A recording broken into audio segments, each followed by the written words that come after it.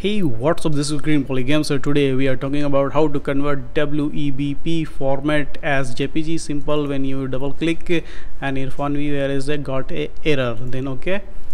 And right click open with uh, paint and here go to paint.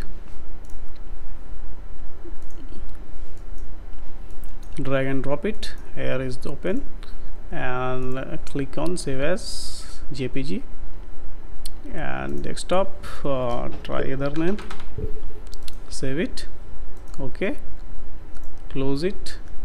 And here is jpg format. And here i hope you like this video. Share as you wish